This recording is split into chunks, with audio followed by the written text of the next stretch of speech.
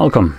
In front of me is a Motorola Edge 30 and today I'll show you how we can boot this phone into safe mode.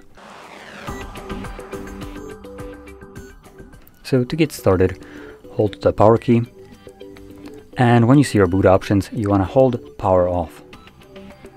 This then brings up a window, reboot to safe mode. Do you want to reboot into safe mode? This will disable all third-party applications you have installed. They will be restored uh, when you reboot again.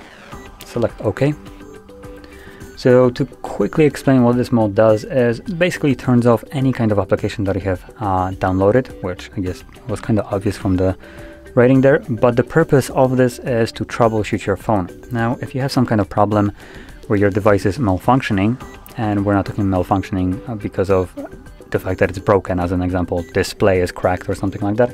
I'm talking about on a software level, so you just decided to download some app, and that app turns out to be an absolute malware, completely breaking how the device uh, works, where you basically cannot use it. Then you can boot it into safe mode. This app will not be able to run now, so you can quickly get rid of it and easily, obviously. Now, also you can see that widgets don't work in this mode, and let's see if there's any kind of other apps that are disabled, but I don't see any of uh, any other apps that cannot run here.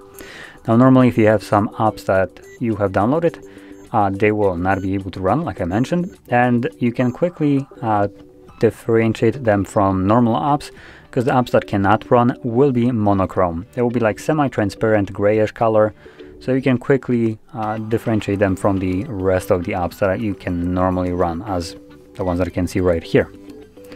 Now anyway, once you're done with this mode, you can leave it by holding the power key and selecting restart. This will reboot the device and bring you back to normal mode. And obviously uh, this safe mode will disappear then from your screen. So anyway, if you found this very helpful, don't forget to hit like, subscribe and thanks for watching.